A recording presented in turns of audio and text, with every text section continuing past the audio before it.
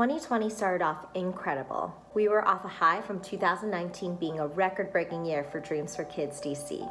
Our 2020 ice hockey clinic with the Washington Capitals was a huge success, and we had a lot of new clinics set up, including rugby, for the 2020 year. We had a holiday celebration that was planned and also our usual Your Path to Success curriculum. But everything was put on hold.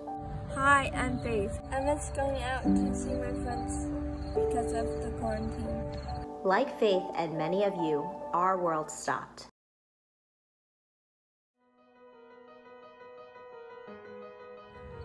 I get to see my old friends and make new friends around the world. We understand this is affecting all of us, racially, politically, and economically. What DFK DC has pledged the community is that we will be a constant among the chaos. We are committed to our community. Thank you, Dreams for Kids DC.